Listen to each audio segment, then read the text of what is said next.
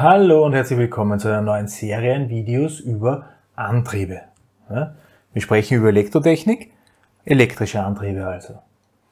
Nun, äh, wir haben in den letzten Serien an Videos haben wir viel gehört über Gleichstrommaschinen, Asynchromaschinen, Synchromaschinen und so weiter. Äh, ich sage einmal, wir als Maschinenbauer werden mit der Erzeugung von elektrischer Energie relativ wenig zu tun haben.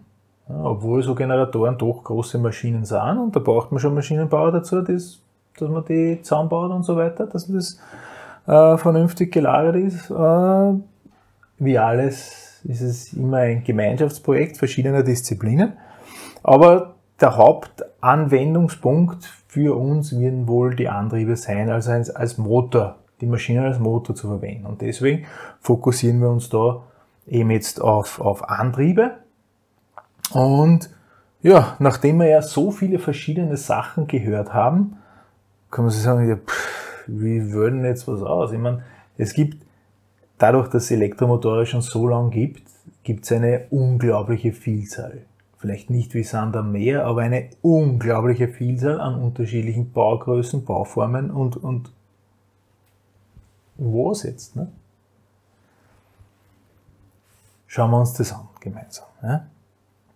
Zuerst werden wir ein bisschen über Grundbegriffe reden. Heute sprechen wir über den Wirkungsgrad. Also ein Wirkungsgrad eines Motors. Wir haben also irgendwo einen Motor,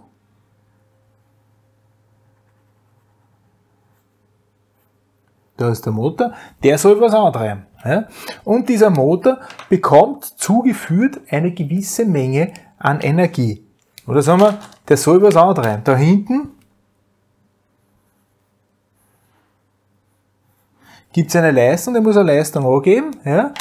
Das ist die abgeführte Leistung, P ab.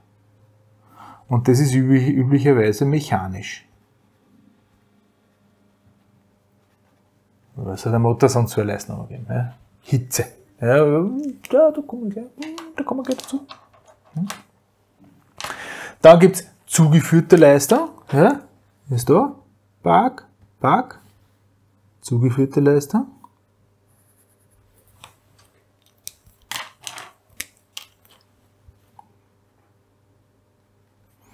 Die ist bei uns elektrisch.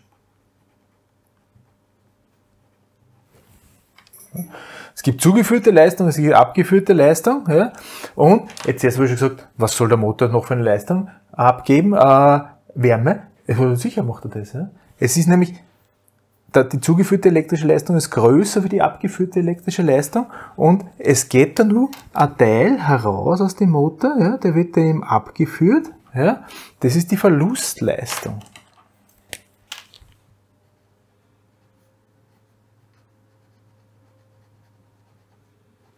Verlustleistung. Okay? Und zwar entsprechende Energiebilanz ist ja die Verlustleistung.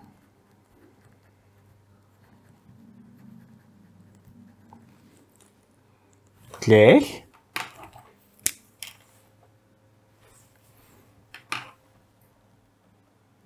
der zugeführte Leistung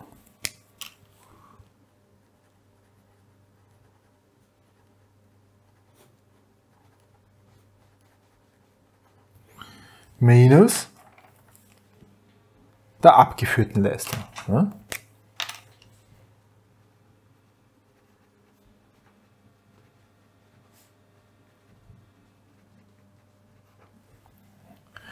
Das heißt, mein PV ist gleich P zu minus P ab.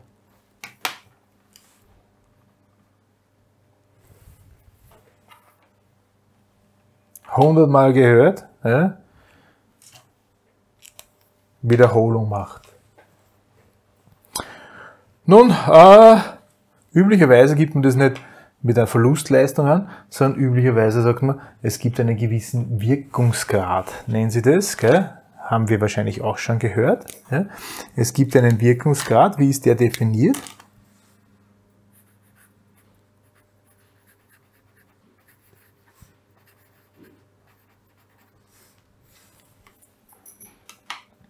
Ich meine, das Formelzeichen ist relativ einfach. Das ist, also Eta heißt der, Eta, das N mit dem langen Dings ist Eta, ja.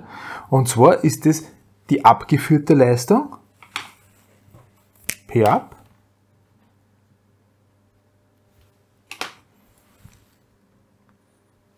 dividiert durch die zugeführte Leistung. Und was habe ich da? Watt dividiert durch Watt. Was hat der für eine Einheit? Nix. Ja? Ich kann dann nur, muss aber nicht, mal 100% rechnen, dann hat er Prozent als Einheit. Ja? Wirkungsgrad heißt das. Ja? Das sagt praktisch aus, welcher Anteil der Leistung, die ich zuführe, kann ich auch wieder ernten. Okay? Das, ich bin überzeugt davon, das ist in praktisch allen technischen Fächern schon einmal gekommen. Und äh, ja, was ist da jetzt? Ja? Was ist da neu? Nun, wenn wir sich den Wirkungsgrad von einem Elektromotor anschauen, da hören wir immer, das ist so gut und das ist ein Wahnsinn und so weiter. Puh. Unterschiedlich. Unterschiedlich, unterschiedlich, unterschiedlich. Ja. Ah, Kleinmotore. Ich meine, ich meine, Leistung, also Elektromotore gibt es von so bis ja. Und jetzt diese Kleinstmotore, ja, elektrische Kleinstmotore,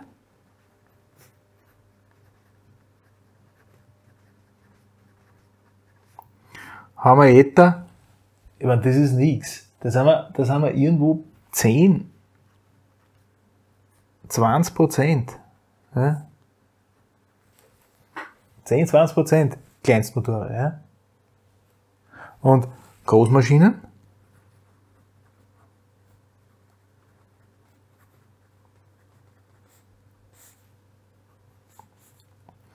Etwa bis zu, und jetzt kommt 99 Prozent. So viel zum Thema, der Elektromotor ist so gut. Ja es gibt eine Spanne, die ist unglaublich. Ja. Ich meine, zwischen 10 und 99 Prozent ist ein bisschen ein Unterschied. Ja. Es ist halt immer so, dass man äh, entsprechend Aufwand betreiben muss. Je mehr Aufwand man betreibt, um etwas Verlustärmer hinzubekommen, desto verlustärmer wird und desto, aber desto mehr kostet es halt da. Ja. Das heißt, es gibt bei kleinen Motoren, sagt man, ist ja eh wurscht, ne? Hauptsache es dreht sich. Ja, es, es soll sich halt drehen und, und, und das war's. Ja. Und bei Großmaschinen, na, da hat man schon immer drauf geschaut, dass das, weil, weißt, wenn du so eine Maschine hast, die halt 5, 6, 7, 8 MW hat, ich meine, die Hitze bringst du gar nicht mehr weg von dort. Ne? Du musst halt schauen, dass das so kühl wie möglich bleibt und da musst du entsprechend Aufwand eben betreiben. So. Und was ist jetzt mit dem Bereich, wo man sagt, hm, ja, wo man sich üblicherweise bewegt? Ja? Also es gibt äh, Wirkungsgradklassen. Ja? Es gibt Wirkungsgradklassen, sind da definiert.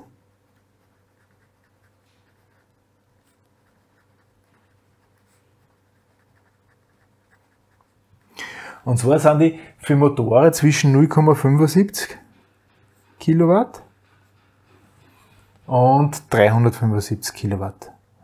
Also in dem Bereich, wo man sich üblicherweise bewegt. Ja, in dem Bereich sind äh, Klassen definiert. Ja.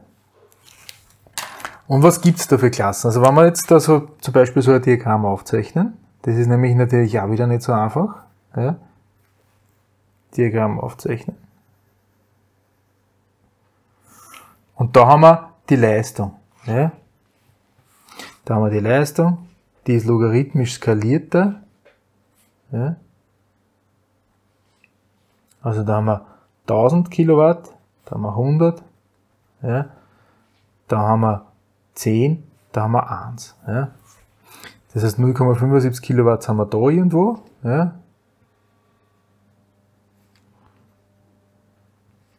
Und da 375 sind wir halt da irgendwo.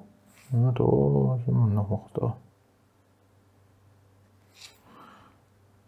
350 und da dazwischen sind eben diese Klassen definiert. Und wenn ihr das jetzt da aufzeichnet,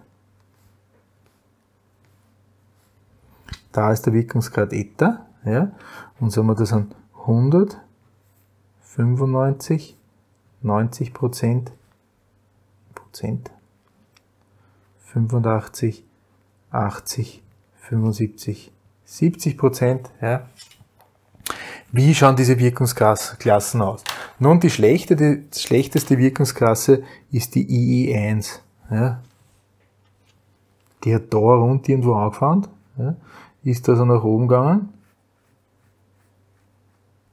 und hat da aufgehört. Also wenn wir da zum Beispiel, zeichnen wir es ein, da haben wir 95 Prozent. 90 Prozent.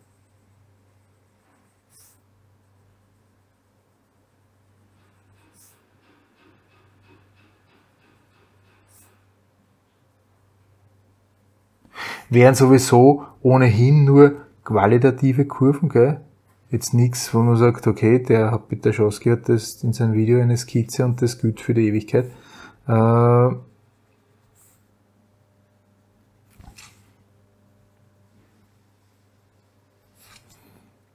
Freihandskizze, gell, fertig. Das ist jetzt hoffentlich eh klar.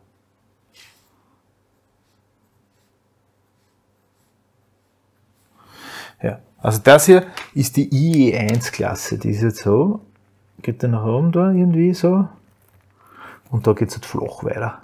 Kann man sich vorstellen. Da ist halt nicht mehr definiert. Ja. IE1, das ist Standardwirkungsgrad, hat das Klassen. Standardwirkungsgrad, der ist eigentlich nicht mehr zulässig. Gell? Seit, seit äh, 20, 2011 nicht mehr, nicht mehr zulässig. Ja? 2011 nicht mehr zulässig. So, dann gibt's den, den hoher Wirkungsgrad Motor, der hat er da angefangen bei den Kleinen, ja, ist da so aufgegangen irgendwie. Ja und ist da knapp unter 95. Da ist 95 nach oben, so zack. Ja, das ist der IE2 gewesen. Ja, hoher Wirkungsgrad.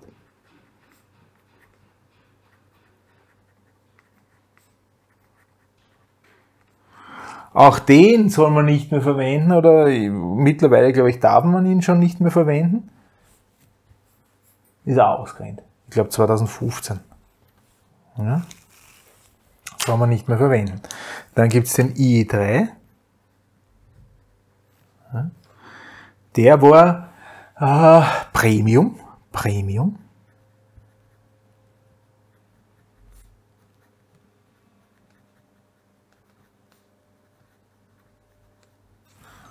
Der geht halt da weg. Da oben rennen es dann schon ziemlich zusammen, gell? da sind wir halt da leicht über 95 drüber.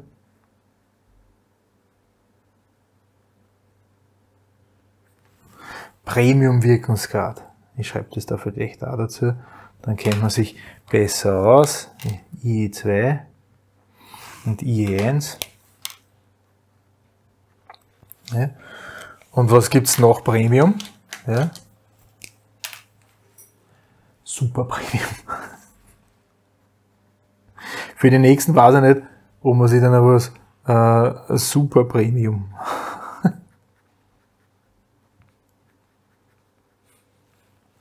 Super Premium Wirkung hat und der rennt da wirklich schon über 80, über 85 weg da unten, geht da rauf. Da drüben sind wir relativ knapp drüber nochmal. Das heißt, bei Großmotoren ist der Unterschied nicht mehr so groß. Oder unten im üblichen Leistungsbereich IE4 haben wir da. Gell? So ähnlich schaut das aus. Also es ist keine harte Grenze, dass man sagt, der Wirkungsgrad, es kommt auf die Motorengröße an. Ja, das ist einfach, man hat halt in große Motoren mehr Platz für irgendwelche Maßnahmen und so weiter. Ah, ja. So schaut das aus. Ja. Also sind die Wirkungsgradklassen. Warum ist der Wirkungsgrad jetzt überhaupt wichtig? Verlustwärme. Jetzt habe ich zuerst schon gesagt Wärme. Ja. Diese Verluste, diese Verlustleistung, ja, die wird da drinnen, was macht die? Ja? Die macht das Ding warm, die erwärmt es ja? Und durch die Erwärmung bekommt der Motor eine Übertemperatur und durch die Übertemperatur kann er Wärme abstrahlen an die Umgebung. Okay? Das heißt, solange der, solange der Motor wärmer ist wie die Umgebung, wird er Wärme abgeben.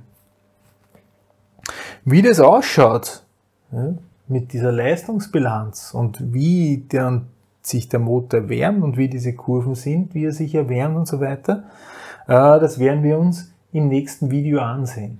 Ja. Sollte das einmal da auf die, auf die wiederholen praktisch, ja, mit den Wirkungsgraden und so weiter. Und nächstes Mal sehen wir uns an die Energiebilanz für so einen Motor. Da werden wir schon sehen, wie heiß er wird. Für dieses Mal herzlichen Dank für die Aufmerksamkeit. Auf Wiedersehen.